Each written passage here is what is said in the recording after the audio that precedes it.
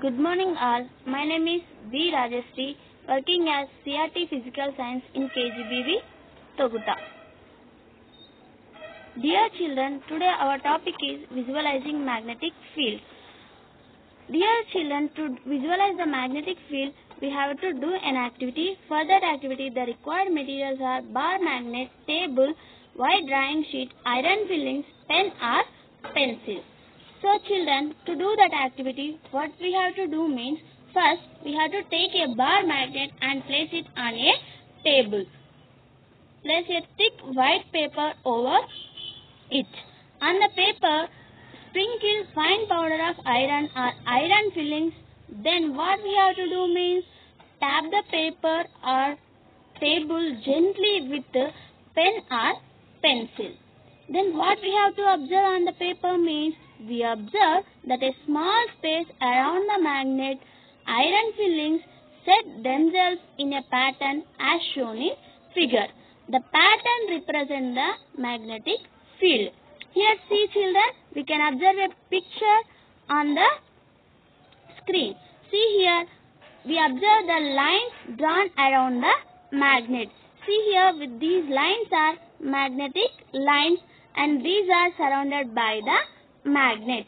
See here we can observe the north pole and south pole of the magnet and the imaginary these lines are imaginary lines and these lines travel from north pole to south pole and the magnetic these lines are called as magnetic lines and these are imaginary lines.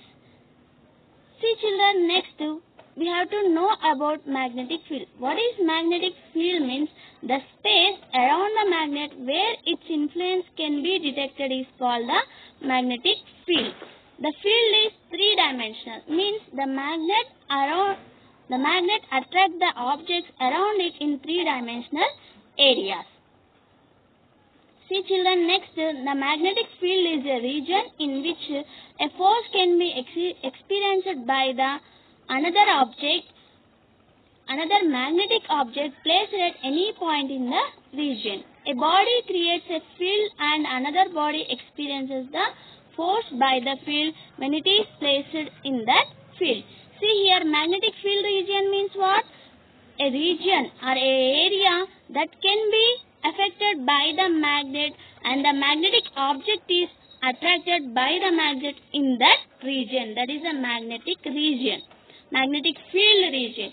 So in that magnetic field region, the magnetic object is attracted by the magnet and it is stick to the magnet. Next, a body creates a field and another body experiences the force by the field when it is placed in that field. See here, a body creates a field. Which body is creates field here? Magnet is creates a field. Which one is creates field here? Magnet is creates a field and the magnetic object is experienced that force by the magnetic field.